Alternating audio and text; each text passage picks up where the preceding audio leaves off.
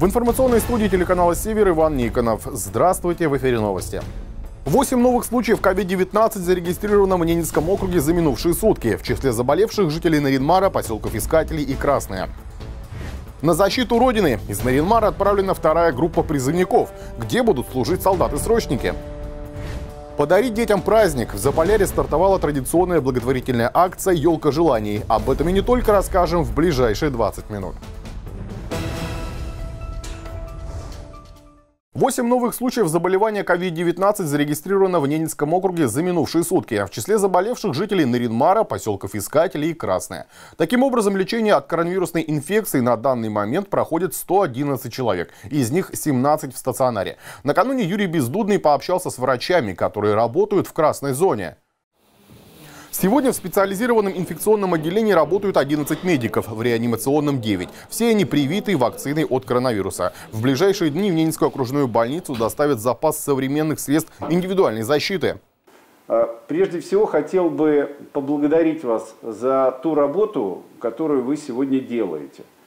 У нас очень непростой период, когда очень много заболевших, и э, я хотел бы сказать, наверное, от всех жителей округа слова благодарности. Спасибо вам большое за ту работу, огромную, громадную работу, которые, которую вы делаете каждый и в инфекционном отделении, и в отделении реанимации. Спасибо вам большое от всех жителей округа. В первую очередь в ходе общения с медиками глава региона спросил о состоянии пациентов, находящихся в стационаре, и о наличии необходимых лекарств и средств индивидуальной защиты. Скажите, пожалуйста, все ли есть лекарства, э, медикаменты для того, чтобы лечить больных? Ну, нам бы, конечно, хотелось иметь препарат барицетиниб, чтобы можно было с первых дней предотвращать цитокиновый шторм. Если будет такая возможность, мы бы были просто счастливы, потому что так, на данный момент мы пользуемся инъекционными препаратами, они есть, да, Э, ну, вот этот препарат, он входит в протокол лечения да, последний? Конечно, да, конечно. Юрий Бездудный поручил руководителю профильного регионального ведомства Сергею Свиридову в кратчайшие сроки отработать вопрос по закупке препарата. А сразу после общения с медиками губернатор связался с Минздравом России. По итогам переговоров препарат поставят в округ в нужном количестве в ближайшее время. Руководителем депутации Госдумы в Северном Совете стал Сергей Коткин. Соответствующее решение было принято на заседании Совета Государственной Думы и подписано ее спикером Вячеславом Володиным. Сергей Коткин введен в состав депутации в связи со сложением полномочий Григорием Литковым. Коткин назначен руководителем депутации Госдумы в постоянной делегации Федерального собрания в Северном Совете. В нынешней сложной международной ситуации сотрудничество по линии Северного Совета – это очень важное направление, отметил в телефонном интервью Сергей Коткин те вопросы, которые решаются на Совете, это касается уже не только Ненецкого автономного округа и его жителей, а всей Российской Федерации. Безусловно, нам нужна разрядка международной напряженности, добрые отношения с нашими северными соседями. Ведь сегодня все арктические государства объединяют проблемы одни и те же. Прежде всего, это вопросы территории, я имею в виду, это хребет Ломоносова, Менделеева по континентальному шейфу, экология – глобальное потепление, поддержка коренных малочисленных народов, сохранение биоресурсов, судоходства. Кроме того, Сергей Коткин отметил, что, встречаясь с парламентариями северных стран, не избегают острых проблем, открыто их обсуждают. Мне как-то уже вот приходилось не один раз принимать участие в работе международных организаций. И я бы, наверное, отметил, что арктические государства э, в этом отношении показывают пример конструктивного взаимодействия встречаясь с парламентарией северных стран, мы не избегаем острых проблем, всегда открыто обсуждаем на площадках все вопросы, которые нас волнуют и беспокоят, прямо глядя друг другу в глаза. И удается, в общем-то, находить точки соприкосновения. По мнению парламентария, необходимо использовать любые возможности, чтобы разрядить международную напряженность и налаживать добрососедское сотрудничество. На развитие транспортной системы округа в следующем году направят 4 миллиарда 600 миллионов рублей. Этот и другие вопросы обсудили на заседании комиссии по экономической политике и бюджету в рамках рассмотрения проекта окружной казны на ближайшие три года. В целом расходы Департамента строительства ЖКХ, энергетики и транспорта Ненецкого округа запланированы в размере 8 миллиардов 300 миллионов рублей.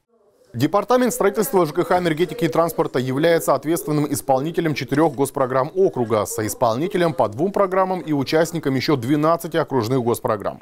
Наибольшая сумма запланирована на реализацию программы развития транспортной системы НАО – 4 миллиарда 600 миллионов рублей. Из них более 3 миллиардов рублей пойдет на развитие сети автомобильных дорог общего пользования регионального и межмуниципального значения. На автодорогу Наринмар-Усинск предусмотрено 2 миллиарда 900 миллионов рублей за счет средств федерального бюджета бюджета. На реконструкцию автодороги город Наринмар, поселок Искателей запланировано порядка 34 миллионов рублей, в том числе 25 миллионов рублей из федерального бюджета. По итогам обсуждения профильному департаменту поручено до 15 декабря проработать вопрос о возможности корректировки проекта реконструкции дороги до Искателей. Еще один вопрос, рассмотренный на комиссии, касается тарифов Севержилкомсервиса. Депутаты предложили проверить правильность формирования тарифов предприятия. По мнению парламентариев, они превышают аналогичные различные тарифы в других регионах в 10-15 раз. Одним из решений по снижению стоимости услуг по обращению с ТКО могло стать увеличение срока накопления мусора на площадках с 11 до 36 месяцев. Предложение неоднократно обсуждалось, в том числе в начале 2020 года в рамках Дней НАО в Совете Федерации. Собрание депутатов выходило с законодательной инициативой в Госдуму. Администрация Ненецкого округа направляла соответствующий запросу в федеральные ведомства. Однако предложение не было поддержано задержана, так как такое длительное хранение ТКО противоречит экологическому законодательству. Депутаты предложили обсудить обоснованность тарифов Севержилкомсервиса на отдельном совещании с привлечением большего количества участников, которые проведут после получения подробной информации от профильных департаментов. Поправки в бюджет этого года и на плановый период 2021-2022 годов приняли и депутаты городского совета на 16-й внеочередной сессии. С информацией по бюджету выступила начальник управления финансов муниципального образования Марина Захарова. Показатель доходной части в 2020 году увеличится более чем на 12 миллионов рублей. Это связано с ростом безвозмездных поступлений из окружного бюджета, налоговых и неналоговых поступлений городского бюджета. На эту же сумму увеличатся расходы муниципалитета. Из полученной суммы деньги направят на обустройство пешеходной зоны в городском парке в районе улицы Юбилейная. Часть средств пойдет на обеспечение деятельности управления городского хозяйства в связи с изменением типа учреждения. Также деньги будут направлены на реализацию мероприятий по поддержке и развитию малого и среднего среднего предпринимательства и организацию мероприятий по обеспечению комфортных условий для проживания и отдыха горожан в зимний период. Призывная кампания в Ненецком округе идет полным ходом. На сборный пункт в Архангельск отправились 18 ребят из второй группы призывников. Все они, скорее всего, попадут на срочную службу в Главное управление Генерального штаба, войск Национальной гвардии России и сухопутные войска Северного флота. Подробностей у Екатерины Дементьевой. Дипломированный юрист Данил Кудрявцев перед поступлением в ВУЗ целенаправленно решил идти в армию. Старшие мужчины в семье его решением гордятся, считая, что служба – это неотъемлемая градация от юношества к зрелости. Это как э, долг, как это нужно, как это должно быть отнесся. Понятно, что мама э, ну, не, против, не, не противилась, конечно, этому, но очень, как можно сказать, даже расстроилась. Слезы льет уже, вот уже, наверное, неделю. Хотя вроде объясняю, что ничего страшного, во-первых, первый год это все быстро пройдет, во-вторых, то есть все равно это надо. Но вот чисто внутренне, видать, не может ребенка отпустить, хотя уже давно не ребенок. А тем временем юноша доволен тем, что попал в войска Нацгвардии и уже мысленно выстроил планы на ближайшие годы. Да и в целом очень позитивно настроен. Конечно, поможет, так как я сейчас устраиваюсь в Нацгвардию, потом можно устроиться и в полицию, и также у нас в Нацгвардию. Это открывает многие пути. Не без сложностей, но бывают и хорошие моменты. Допустим, друзья, которым ты будешь знакомиться, и постепенно все больше и больше будешь с ним сплочаться. В дни отправки у здания военкомата многолюдно. Смятение в глазах матерей, звенящее молчание девушек, подбадривающий смех друзей и гордость отцов. Каждая эмоция по-настоящему искренняя. Как же, служить надо все равно. Все служили. Дед служил, я служил, братья у него служили. Сейчас его очередь подошла. Пусть служит. Год тем более. Отслужит вернется человек. Пусть дальше да, служит. он сам желает, главное, сам желает. Ну, Это очень есть же люди, которые не хотят, а он сам пожелал, ну ладно, давай, служи, раз хочешь, так, так служи. Ну. Да. Молодец, короче. Мы его хвалим за то, что он сам желает. Сегодня чьи-то сыновья, женихи и друзья перешли на новый жизненный этап. Каждому из них предстоит учиться преодолевать трудности, ждать и любить, несмотря на расстояние. Служба везде, военная, почетная и трудна. И к этому должны готовиться, что это не санаторий курорт, а что это военная служба. Надо будет исполнить свой воинский долг. Я хочу пожелать вам удачи, чтобы через год вы вернулись к нам, а если не вернулись, то оставшись служить либо в армии, либо кто-то поступит в высшее военное учебное заведение. Все, кто будет поступать в высшее военное учебное заведение в период военной службы, идут, эти ребята вне конкурса поступают. То есть вам будут созданы определенные преференции. Перед отправкой в аэропорт напутствие призывникам дал губернатор Ненецкого округа Юрий Бездудный. Ему поименно представили молодых людей согласно списков рода войск. Вообще во все времена защищать Родину считалось самым почетным. И то, что вы отправляетесь сегодня уже на службу, и для нас большая гордость. Хотелось бы, чтобы вы э, защищали Родину с честью, чтобы вы гордились тем, что вы защищаете не только своих близких, не только наш округ, что вы защищаете всю страну. Вторая группа из 18 призывников отправилась в Архангельск на распределительный пункт, откуда они направятся в свои части. И ровно через год возмужавшие красивые вернутся к своим любимым. Екатерина Дементьева, Владислав Носкин, телеканал «Север». Неделя остается до старта приема заявок на оздоровление детей за счет окружного бюджета. Подать документы на получение путевки «Мать и дитя» можно будет в течение месяца. Традиционно по путевке мать и дитя на санаторно-курортное лечение могут отправиться дети с 4 до 12 лет, имеющие третью группу здоровья, и дети с 4 до 15 лет, с четвертой и пятой группами здоровья в сопровождении одного взрослого. Это может быть один из родителей, опекун или близкий родственник, бабушка или дедушка. Как и раньше, бесплатные путевки в здравнице предоставляются один раз в два года.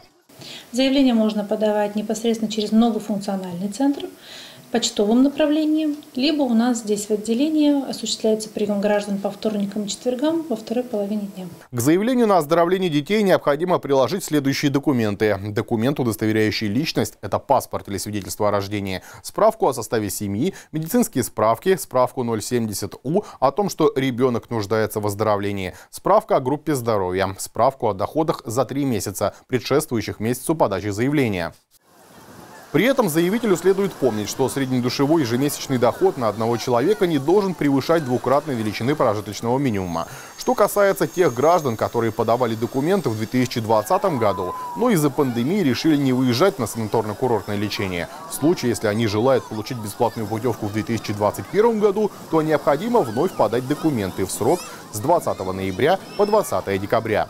У нас не переносятся путевки на следующий год, а им необходимо просто заново подать пакет документов, и, соответственно, заново мы их поставим в реестр на, в очередь тех, кто нуждается в оздоровительном лечении для детей. Добавлю, что первоочередное право на путевки имеют многодетные семьи и родители, воспитывающие ребенка-инвалида. На оздоровительный отдых в составе организованных групп могут отправиться дети в возрасте от 13 до 15 лет включительно, имеющие вторую или третью группы здоровья, постоянно проживающие на территории Ненецкого округа и нуждающиеся по медицинским показаниям в санаторно-курортном лечении. Почувствовать себя волшебником в преддверии Нового года может каждый житель Ненецкого округа. Елка желаний вновь зажигает благотворительные огни. 15 ноября в Ненецком округе стартует эта акция. Каждый из нас может подарить радость детям, особо нуждающимся в ней. Продолжит Любовь Пермякова. Да, ребятам уже передано в семьи, вот, э, которые, э, которым хотим помочь, да, переданы э, письма, бланки, да, такие, на которых они уже пишут письмо Деду Морозу. И таких писем на сегодняшний день получено уже 33. Директор комплексного центра социального обслуживания и по совместительству руководитель регионального отделения Красного Креста показывает нам образец послания Дедушке Морозу. Яркий и красивый дизайн разрабатывали сами сотрудники. Очень старались, ведь акция «Елка желаний» помогает детям, оказавшимся в трудной жизненной ситуации охват э, детей, которым будет оказана помощь, это прежде всего дети, находящиеся на лечении в больницах. И э, дети, находящиеся, ну, понимаем, да, то есть это малообеспеченные семьи в социально опасном положении, когда ну, родители, не все, не каждая семья может э, приобрести и подарить вот это чудо новогоднее, да, там, своему ребенку прошлом году в результате традиционной благотворительной акции «Елка желаний» исполнились новогодние мечты более 60 детей. Первыми подарки получили 26 маленьких пациентов окружной больницы. По традиции, в последнюю неделю уходящего года специалисты отделения социальной помощи семье и детям, они же волонтеры Красного Креста в костюмах Деда Мороза и Снегурочки посещают семьи, вручая самые разнообразные презенты от конфет до планшетов. Кстати, елки желаний загораются по всей стране. Это уже стало доброй традицией. В Кремле украшают письма с желаниями детей из регионов. Главы субъектов снимают с новогоднего дерева несколько посланий. В 2019 году так исполнилась мечта 11-летней жительницы Наринмара Полины Калининской. У нее было желание новогоднее посмотреть Красную площадь, ну и вообще Москву всю. И мечта Полины сбылась. Целую неделю девочка вместе с мамой и младшим братом провела в столице. Программа была очень насыщенной. В Кирбург ходили. До одного дня нам было мало, мы и второй день ходили. Вчера. Потому что это детские профессии, там дети все испробовали. Очень, конечно, все понравилось. Все на высшем уровне.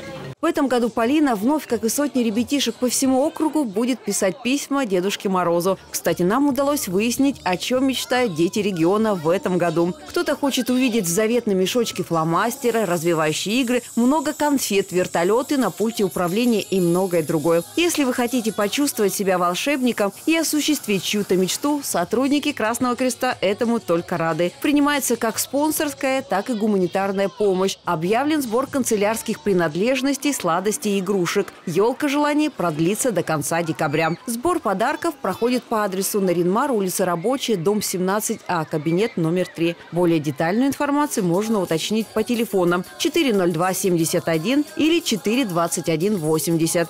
Любовь Пермякова, Антон Ведряков, телеканал «Север». В Ненецком краеведческом музее открылась выставка художественных работ «Мой север» Олега Токмакова. Картины написаны в разной технике, объединены одной темой – любовью к Ненецкому краю, в котором художник прожил всего три года. Далее подробности. Инженер-строитель из Ленинграда прибыл в 1962 году в маленький северный городок для строительства морского порта. Деревянные дома после большого каменного города, национальный колорит после вывесок домов мод. Все это произвело на него удивительное впечатление. Э, потому что, приехав на Ренмар, э, увидев на улице э, девушку, одетую в зимнюю ненецкую одежду, он очень восхитился этой одеждой, он восхитился э, переливом красок, орнаментом, восхитился руками мастериц, которые шьют эту одежду. И, как вы вот, наверное, видите, на работах его как раз-таки представлены как женщины в одежде ненецкой традиционной, так и мужчины. Художественного образования Олег Токмаков в тот момент не имел, а вот уже после возвращения из Нарьянмара поступил в художественное училище имени Мухиной. Говорит, что на севере за три года жизни здесь, в Арктике, он состоялся как художник. И именно вот этот опыт проживания здесь, именно, скажем так, работа и творчество здесь, на севере, помогли ему с легкостью поступить и закончить с отличием это училище. За три года жизни в округе свою руку инженер-строитель приложил и к старому Дому культуры в окружном центре, и к зданиям в нескольких поселках. Но знают о нем больше по другому культурному объекту. Олег, имя Олега Ивановича было связано всегда, я знала о нем только как об авторе памятника обелиска Победы, который был открыт в Наринмаре в 1965 году. И, собственно говоря, никогда бы не предполагала, что а, человек со строительной специальностью, с художественной строительной специальностью, проектировщик может стать художником. Свои работы он начал передавать фонды Краеведческого музея еще несколько лет назад. И на данный момент в музее их насчитывается более 50. Он пронес такую теплоту а, воспоминаний о нашем крае, о нашем округе, о городе Наринмаре, о Нельминосе, о Хангурее, о тех людях, которым, с которыми ему довелось а, встречаться. И это так явно прослеживается в его работах. Они такие теплые, они такие естественные. И это их очень интересно рассматривать, потому что они погружают нас в ту атмосферу начала 60-х годов, 20 века, когда было много романтики, когда были большие надежды на светлое будущее. И здесь очень красивые лица у людей. Выставка «Мой север» – это финальная в 2020 году выставка, которая будет работать в стенах Ненецкого краеведческого музея до 16 января 2021 года. Екатерина Дементьева, Антон Выдряков, телеканал «Север». Это были новости на телеканале «Север». Далее смотрите прогноз погоды.